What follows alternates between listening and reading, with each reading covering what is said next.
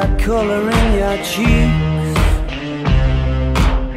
Do you ever get that feel that you can't shift the tide that sticks around like summits in your teeth?